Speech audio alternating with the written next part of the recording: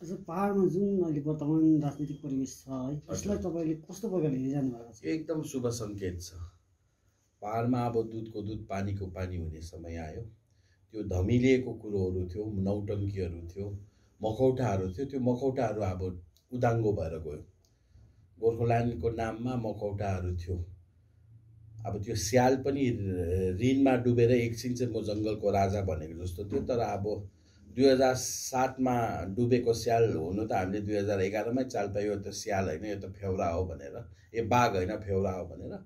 अब हामीले दुई हजार सातमा भनेको कुरा मान्छेले दुई हजार बाह्रमा पनि पत्याएन सत्रमा पनि पत्याएन। अब दुई हजार बिसमा चाहिँ उदाङ्गो भयो। को चाहिँ सत्य गोर्खाल्यान्ड प्रेमी रहेछ? आप्पाको मुद्दालाई हाइज्याक गरेर अटो पाइलटमा चढ्नेहरू। अब हौजाज ताजकल गोर्खाल्यान्ड भनेर अटो पाइलट थिच्यो ट्रक पनि अब ट्रकको पनि ह्यान्डी बोय नगर्नेहरूले अटो पाइलटमा गोर्खाल्यान्ड चलाउँदै थियो। अब त्यो ल्यान्डिङ गर्नु त पऱ्यो ल्यान्डिङ त अटो पाइलटले हुँदैन। डाइरेक्ट बङ्गोप महासागरमा डुबाउँदा चाहिँ अब यो उदाङ्गो भयो। पाहाडमा अब अझै सिरी हुने समय आएको छ।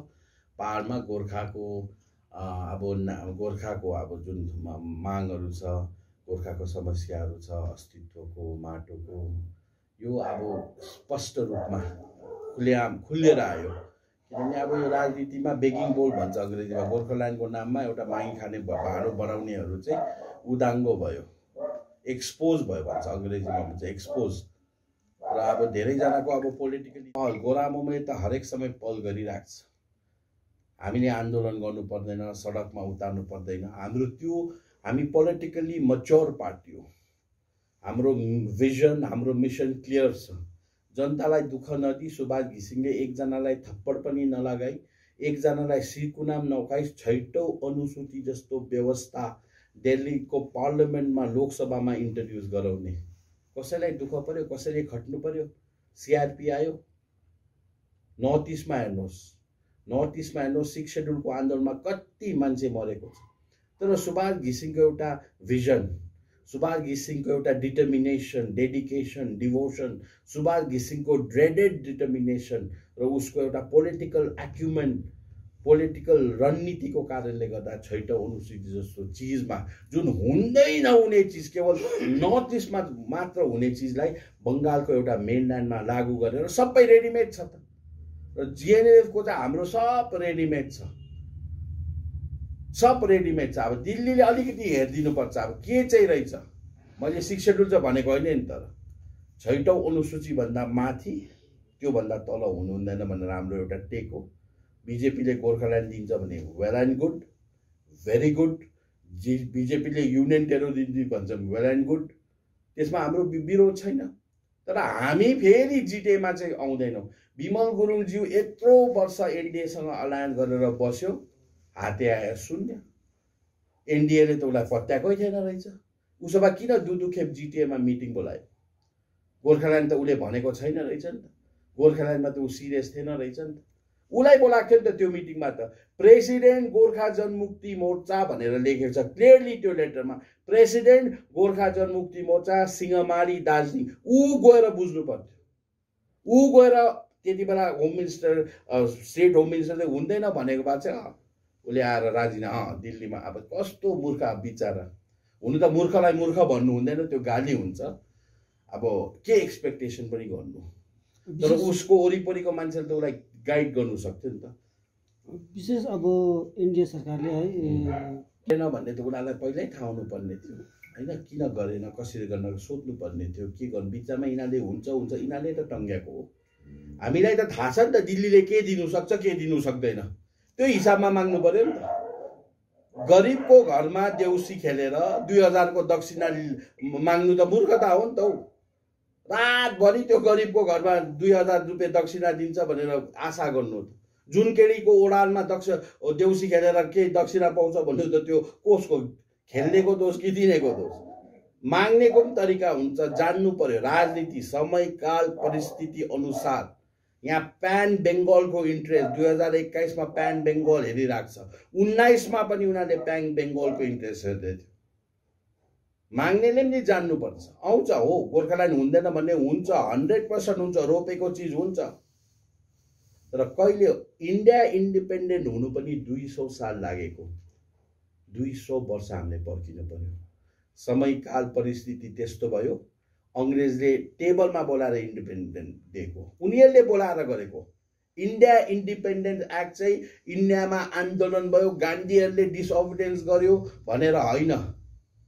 उनीहरूको इन्ट्रेस्ट अङ्ग्रेजको इन्ट्रेस्ट चाहिँ डामाडोल हुँदाखेरि हतार हतार अङ्ग्रेजले उनीहरूलाई बोलाएर राउन्ड टेबल कन्फरेन्समा इन्डिया इन्डिपेन्डेन्स एक्ट हाम्रो पनि त्यस्तो समयकाल परिस्थिति आउँदैछ। क्यापिचुलाइज गर्नु जानुपर्छ। त्यो मोमेन्टलाई त्यो सिचुएसनलाई अहिले यति राम्रो सिचुएसन छ। जुन प्रकारले अहिले भएको छ नि चारैपट्टि तिनवटा पहाड एक हुन्छ भन्ने के के के के यो सिचुएसन अघि भर्खर कुरा गर्दै थियो। यो अहिले यहाँ बोल्नु पनि हाम्रो मान्छे त डाइजेस्ट गर्दैन। सुभाष घिसिङज्यूलाई पनि डाइजेस्ट नगरेको चाहिँ ऊ समयभन्दा धेरै अगाडि थियो। हामीले अब त्यही लेभलमा बोल्नुपर्दा मैले पनि कतिवटा सुभाषिजम सबै हाल्नु मिल्दैन यहाँ। किनभने मेन्टल कन्स्टिपेसन हुन्छ।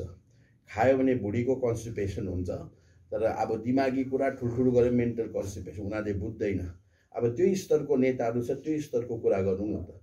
घिसिङ साहब जस्तो त त्यो गर्दा पनि हुन्थ्यो। अब धेरै कुरोहरू छ। खेमा र विमल खेमाले जसरी ठाउँ ठाउँमा है विगत दिनमा होस् अथवा हाल होस् अहिले त विमल खेमाको जुन समर्थन गर्ने है पार्टी विस्तारको कार्यक्रमहरू भइरहेको छ। तर यतिका दिनहरूसम्म पनि गोरामोमा कुनै जनमुखी अथवा सङ्गठन साङ्गठनिक गतिविधि देखिँदैनन्। यो विषयमा के भन्नु? उनीहरूको लागि त डु एन्ड डाई सिचुएसन हो। एउटाको लागि च्याप्टर क्लोज गर्ने एउटाको लागि च्याप्टर ओपन गर्ने चाहिँ यो कुरोहरू छ। हाम्रो लागि त्यो सिचुएसन छैन। हामीले किन हामी हामी कसैको विरोध गर्दैनौँ? कसैको अविरोध पनि गर्दैनौँ?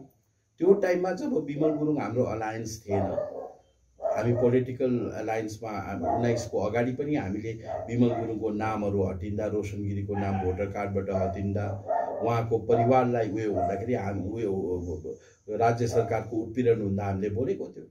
जिएनएफको तर्फबाट प्रवक्ताबाट मैले बोलेको थिएँ। हाम्रो अरू साथीहरूले बोलेको थियो कि यो हुनु हुँदैन। यो व्यक्तिगत प्रतिशोधको व्यक्तिगत प्रतिशोधको जुन प्रकारको नीति त्यो हुनु हुँदैन भनेर मैले बोलेको। आज म त्यही भन्छु आउनु देऊ न त विमल गुरुङलाई बस्नु दियो पात्रे उसको घरमा बस्छ। अब जनताले पो पत्याउँदैन त जनताले पत्याउनु भन्दा आउनु दिउँ नि उसको छ समर्थकहरू बोलिरहेको छ उसको हक हो अधिकार हो। हामीलाई फरक पर्दैन। जनता चाहिँ अब झुक्किनु हुँदैन जनता चाहिँ लन्डिनु हुँदैन। भनिन्छ नि एक खेप लन्डायो लन्डाउनेको दोष। दुई खेप लन्डायो लन्डिनेको दोष। कि अब घरिघरि हामी लन्डिने चार पाँच खेप लन्डिने? जनता अलर्ट छ त यहाँनिर प्रधानमन्त्री आएर बस्दा पनि केही पनि हुँदैन। नरेन्द्र मोदी आएर बस्दा पनि केही पनि हुँदैन। दुई हजार निर्णायक भूमिका। गोरामोमोले डिसाइड गर्छ एक्काइसको चुनाव।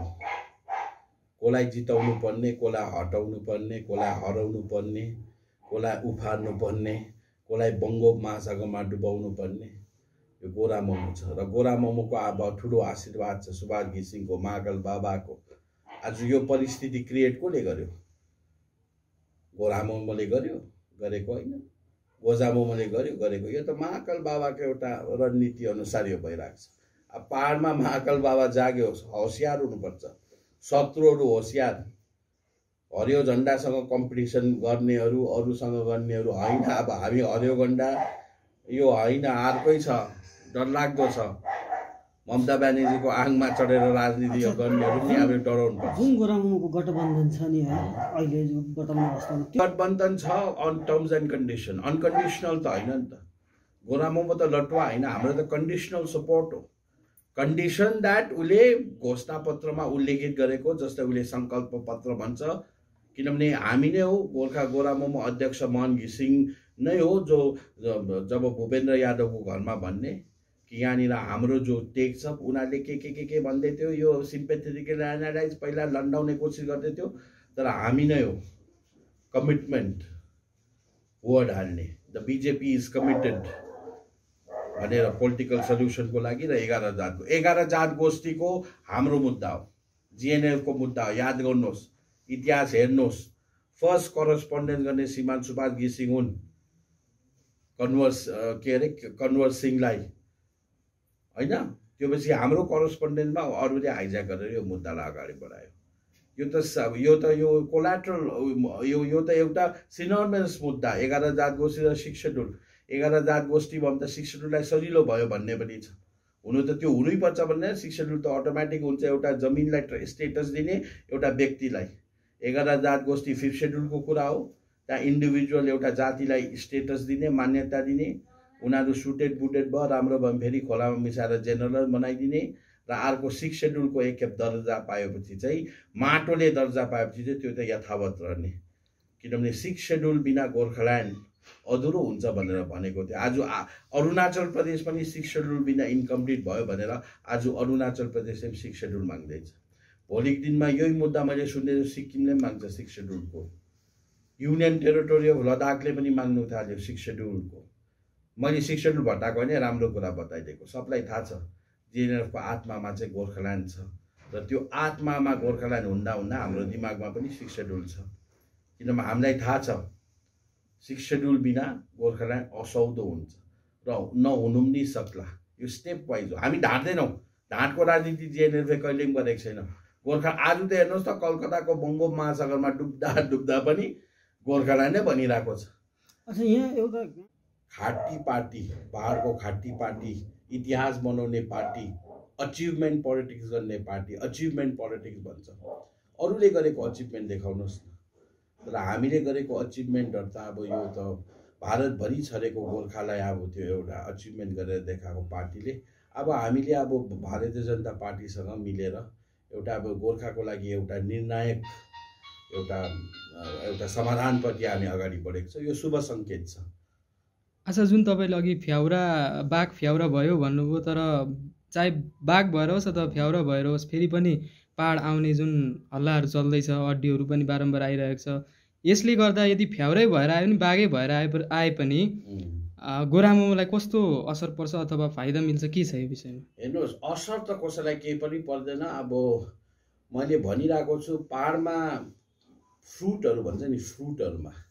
फ्रुटहरूमा चाहिँ नरियललाई असर पर्छ र पशु प्राणीमा चाहिँ खसीलाई असर पर्छ। बुझ्नु भएन बुझ्नेलाई श्रीखण्ड नबुझ्नेलाई फुर्काउ नरियल फोडेको फोडेको खसी काटेको काटेको हुन्छ नि अब कतिवटा नेताहरूले खसी खालि खान्छ खसीको पच्चिस छब्बिसवटा भेराइटी खाने नेताहरू आउँदा अब बिचमा विकासको नाममा पैसा ख्वाम गरेर शिलान्यासको नाममा नरियल फोडेको फोडेको अब बिचरा नरियल कति फोडियो कति दुःख पायो अब मन्दिरमा चढिने नरियल हनुमानलाई चढिने नरियल बिचमा खोला झोडा नाला टोइलेटतिर फोडिँदा नरियललाई असर पर्छ उसको खप्पर फोडिएकोमा सही जग्गा नफोडेकोमा र बिचरा खसीहरू जहाँ पायो त्यहाँ अब नेताहरूले खसी ढाल्दाखेरि हामी जनमानुसलाई गोर्खा जनतालाई चाहिँ केही पनि असर पर्दैन। चाहे फ्याउराया होस् चाहे बङ्गालको रोयल बङ्गाल टाइगर हराएको छ भन्ने चाहिँ तर त्यो के हो? नाम चाहिँ रोयल बङ्गाल टाइगर हो। थोते हुन्छ त्यो गिजा खाली भएको हुन्छ। त्यो बिरालुसँग डराउला त्यो दाँत भएको बिरालु नङ्ग्रा भएको तर यो थोते बङ्गाल टाइगरसँग अब साइबेरियन गोर्खा टाइगर सिङ्चेल सिंहदेवीको देवीको टाइगर सिंह भएर आएको भए चाहिँ केही छैन। अब रोयल बङ्गाल टाइगर त्यो दाँतहरू पनि काटेर त्यो च्यापु खालि लिएर आउँदा यहाँ फरक पर्दैन। र के लिएर चाहिँ आयो? फ्याउरा पनि केही चिज लिएर आएको त हुन्थ्यो नि त। आप्पाले छैटौँ अनुसूची जस्तो चिज ल्याउँदा त यहाँ यहाँनिर भुट्नेहरू थियो। एके फोर्टी सेभेन लिएर जङ्गलमा बसेको ऊ त बेडीको ठुटा पनि नलिआएको छ। जनतालाई लन्डाइराखेको छ। दुई हजार सातदेखि दुई हजार दससम्म लन्डायो हामीलाई। अब कसरी आउने? स्वाभिमान स्वाभिमानी पुरुषहरू त आउँदैन नि त। रामले सीता नफर्काइ लिएर आएको भए आउनु सक्थ्यो अयोध्या? सक्थेन नि त जुन नेताकोमा धैर्य छैन जुन नेताकोमा सिद्धान्त छैन जुन नेताले ढाँटको खाली राजनीति गर्छ त्यस्तो नेता पनि के हो त्यस्तोहरू फर्किँदा अब के या त केही फरकै परेको छैन। कसैलाई केही फरकै परेको छैन। अच्छा नि त्यसलाई तपाईँले कस्तो प्रकारले हेर्नुहुन्छ त्यो हेर्नुहोस् अब नाता टोड्ने उहाँ हो उहाँले नै बुझ्छ। उहाँले के बुझ्यो के बुझेन। हामीले दुई हजार सातमै बताएको दुई हजार सातमा पस्केको भातलाई लात लाउने उनीहरू हो। उनीहरूले सुभाष हटाउ बङ्गाल बचाउ भन्ने उनीहरू हो नि त। सिक्स सेड्युल हटाउ गोर्खाल्यान्ड देऊ भन्ने होइन नि। सुभाष हटाउ बङ्गाल बचाउ भन्ने हो। प्रयोजित हो प्लान्टेड हो स्टुज हो। राज्य सरकारको एजेन्टहरू हो खेतालाहरू हो। र यिनीहरूले खेताला गरेर हाम्रो छैटौँ अनुसूची जस्तो एउटा संविधानिक दुई हजार सातमा पाँचमा भएको यिनीहरूले एउटा पार्टी खोलेर त्यसलाई के गर्ने प्रयास गर्यो? जनतामा उदाङ्गो छ। हामीले बताइरहनु पर्दैन। र के यस्तै चिजहरू छ नि त? र अब यो यो चिजहरूलाई चाहिँ हामीले अब जनताले पार्टीको नहोस् त्यो जनता तर जातिको जनताले माटो प्रेमी जनताले स्वाभिमानी गोर्खा जनताले युवकहरूले यिनीहरूले अब बुझिसक्यो। यो ढोङको राजनीति यो प्रतिशोधको राजनीति यो ढाट्ने राजनीति गोर्खाल्यान्डलाई बुलेट प्रुफ बनाउने राजनीति गोर्खाल्यान्डलाई मागी खाने भाँडो बनाउने राजनीति अब पाहाडमा चल्दैन। र सुभाष घिसिङले गरेको बाटो नै सही हो भन्ने कुरा छ र जसले उसले एनडिएसँग नाता रिस्ता तोड्यो अब उसको त व्यावसायिक सम्बन्ध थियो एनडिएमा। एनडिएमा व्यावसायिक सम्बन्ध अब बिस्तारै कुराहरू उदाङ्गो हुँदै जान्छ। व्यापारिक सम्बन्ध हो नि त। एमपी किनेर ल्याउने एमपीलाई एक्सट्रसन गर्ने। अब सोध्नुहोस् न जसवन्त सिंह त रहेन तर आलुवालियाजी हुनुहुन्छ राजु बिस्तारी छ। कुन प्रकारले एक्सटर्सन गर्थ्यो कुन प्रकारले उनीहरूलाई ब्ल्याकमेल गर्थ्यो कुन प्रकारले पैसा रुपियाँ ल्याउँथ्यो? त त्यो प्रकारको रिलेसन त उनीहरूले बुझ्यो नि त। दिल्लीको होम मिनिस्टरले त उसको डोजियर छ नि त। रोजन गिरीको डोजियर छ विमल गुरुङज्यूको डोजियर छ।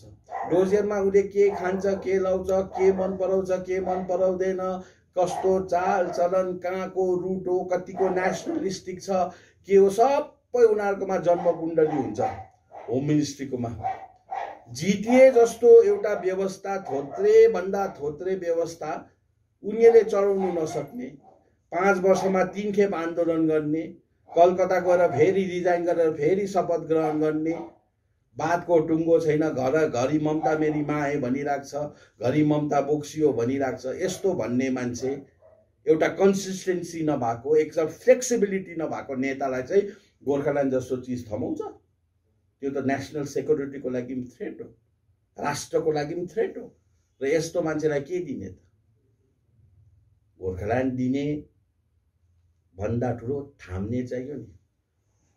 गोर्खाल्यान्ड थाम्ने गोर्खाल्यान्ड थाप्ने त्यस्तो आँट भएको त्यस्तो सत्यवादी नेता खोज्दा चाहिँ अब त्यो खोज्दा चाहिँ अरूमा छैन त्यो चाहिँ केवल हरियो झन्डा मुनि पिपिएस भनेको के हो त्यो बिजेपीलाई थाहा छ त्यहाँ केही पनि हुनसक्छ। पिपिएसको पोटली भित्र केही पनि हुनसक्छ। हामीले यही छ भनेर भनेको छैनौँ त के हुनु छ अब त्यो त दिल्लीको सोच हो। दिल्लीको सोच हो। अच्छा यहाँ हामी केही यसमा भनेपछि बाबाजी सेन्ट्रल कमिटी मेम्बर हो। यो पार्टीको अडान हो पार्टीको टेक हो। त्यसलाई नै उहाँले यो अगाडि बढाउनु भएको हो। यस हाम्रो भनाइ अहिले पनि यही छ दिल्लीमा।